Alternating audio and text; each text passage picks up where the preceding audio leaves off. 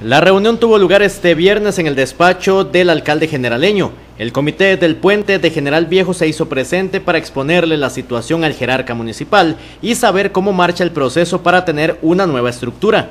El tema del puente tomó mayor relevancia durante esta semana, tras la caída de la estructura que habían levantado los vecinos desde el mes de enero. Reunirnos con este, la municipalidad, con el alcalde, eh, para ver qué situaciones eh, han logrado eh, con la situación del puente de General Viejo.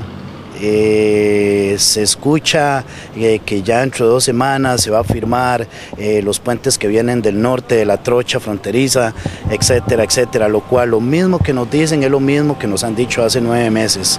Entonces venimos con propuestas y, venimos a, que ellos nos sientan que en realidad es, es necesidad lo que está pasando General Viejo y los pueblos aledaños. En este momento lo que buscan es claridad en torno a la situación. Queremos que nos hablen con la verdad y que nos pongan las cartas sobre la mesa y que nos digan lo que hay y lo que no hay, pero que ya paren de jugar con nosotros, porque uno entiende que la burocracia del país y todo el asunto está bien tres meses, no nueve meses.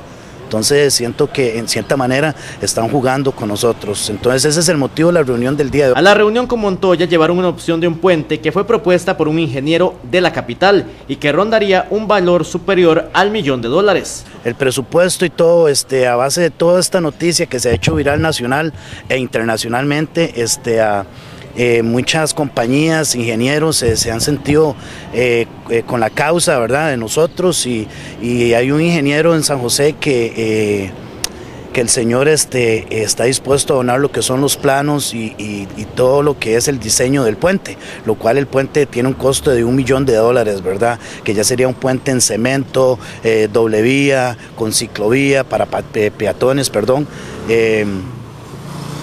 Mira, a final de cuentas ocupamos algo rápido, está bien, lo del Bailey, ocupamos algo, pero eh, pasa lo del Bailey y vamos a quedar en la misma situación en un futuro.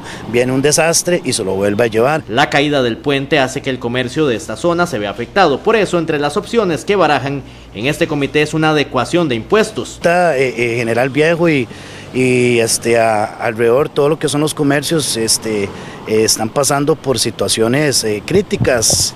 Eh, siento que es una injusticia que si no tenés ingresos que tengas que pagar todos los impuestos normales como cualquier otra persona que venda las cantidades. Entonces nosotros ahorita estamos en una situación crítica, tanto que yo le llamo el pueblo fantasma, ¿verdad? o los pueblos fantasma porque eh, eh, es, una lástima eh, con tantas cosas bonitas que hay en, el pueblo para que, se vuelva fantasma. Entonces vamos a ver si hay posibilidades que nos puedan ayudar, aunque sea con la mitad. Mientras tanto, ellos solucionan lo que es el puente y el paso, lo regulan. Tras la reunión, este medio conoció que los resultados fueron muy positivos y los miembros del Comité del Puente salieron muy satisfechos. En unas dos semanas tendrían una audiencia en el Ministerio de Obras Públicas y Transportes.